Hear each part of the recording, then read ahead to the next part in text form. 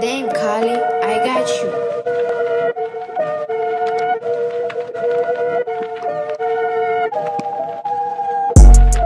Bitches all strong as hell. I told a nigga get that pack up off the mill. But I be trippin' when I wrap up on the beat, but can't you tell? This nigga acting like he never got no ass, he kissing till. The chopper ringing at your door, and now your ass just got a door. I hit the gas,